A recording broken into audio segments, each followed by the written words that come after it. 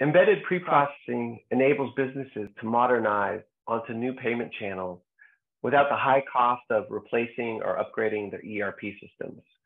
And it's also particularly useful for financial institutions because it allows them to work around their existing payment engines without necessitating costly or lengthy upgrades or uh, uh, changes.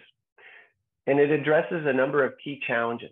For example, it accelerates payment modernization because it works with existing systems. And it also integrates the financial institutions and their corporate clients by integrating with the latest APIs and is ISO 20022 ready. It provides logic-based payment routing that is fast, cost-effective, and it allows customers and institutions to set their preferences. So for example, if a business has a preference toward least cost routing, this can enable that. If an institution has a preference toward fastest routing, it can enable that. And there are many other options therein. And it also future-proofs payment operations so that as new rails come onto the market and become available, it can integrate accordingly.